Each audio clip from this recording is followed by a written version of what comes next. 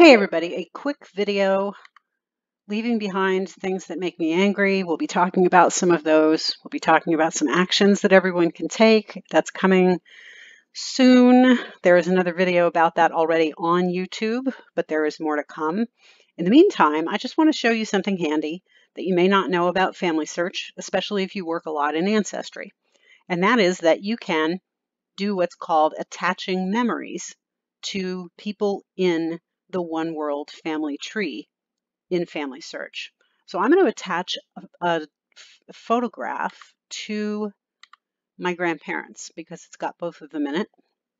They loved to go on these uh, paddle wheel boats. I think they like to gamble. I'm not really sure about that, um, but it's it was like a big deal to them. So I'm I'm opening up my grandma and I'm going to be adding a memory to her. And this is a photograph from when they were on a paddle wheel boat at some point. I'm not exactly sure when, probably in the 90s, maybe even in the 80s.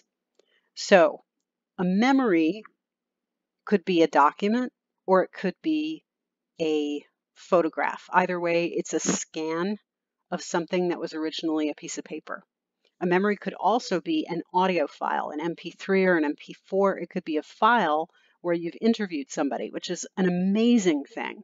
So this is an online virtual scrapbook that your entire family could actually access if all of them had memberships and were tied into your same ancestors, if everybody was tied together. And I really, really advocate for this. It's a great idea. There are only two things that the photographs are not allowed to have on Family Search. You're not allowed to show revealing be in revealing clothing so no show being basically no bathing suits is what that says. And the other is no kissing on the lips. And so other than that um, you can add any kind of photo that you want. So where I would go here in order to add a photograph is I would go to memories. And let me show you right now what my grandma's memories look like. We call her WAG for short, so I'll show you what, what WAG's uh, memories look like click on memories. And here you go. There are all these wonderful photographs. I love that one of her in her wig. It was in her last few years of life, and she wasn't very clear on what was going on around her, but she did know enough to know that the clown wig was pretty hilarious. Um, so that's pretty pretty awesome. And um, this also, I really love this here. Um, friends, a friend of my grandparents um, drew them this sketch uh, right before their engagement party, and it was a gift to them at their engagement party. And um, we still have it. So it's wrinkled, but I scanned it, and I was very excited about that. So I'm going to add this new photograph, and just so you can see, these are all of the photographs that exist.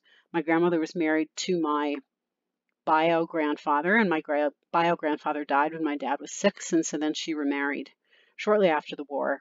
Um, that's the man I knew as my grandfather.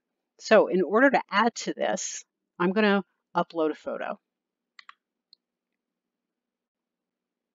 Sorry, I hate that. Here we go. It's a photograph of my grandparents. So I click on it and then open from the file folder on my desktop. And Family Search is going to process it. It's going to make sure no smooching on the lips, no showing a shoulder, and I'm going to give it a title. And this is Wag and Daryl on board ship. Now, you can see over here, it's tagged to be a photograph belonging to Agnes Lucille Odom. That's because I was in her profile when I did the upload. But I can get more specific and I can click on it into order to tag, you see, click the image in order to tag people. And I can make a nice little square around WAG. And that's the automatic person that's going to tag, right? Because we're in her profile. Save it. But I can also tag my grandfather.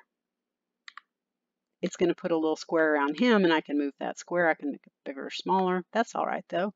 And I start to type in his name. There he is, Daryl Clark DeBolt. He's my step-grandpa. Now, both of them are tagged, and it's really nice.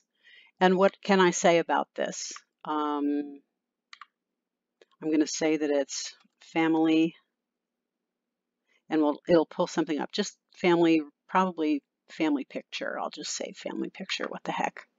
You can type in whatever you want to as a tag, but that, but now that this tagging system has been used a lot, there are a lot of tags already there.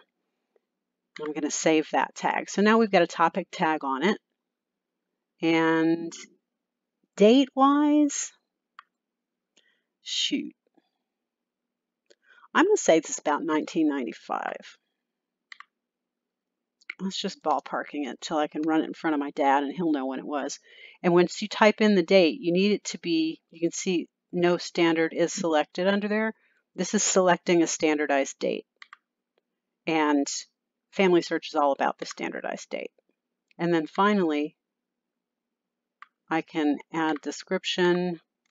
They liked paddle wheel boat boats. Save. And that's it. That's all it takes. So if you want to add a photograph to Family Search, it's that simple, and I hope that you will. Bye.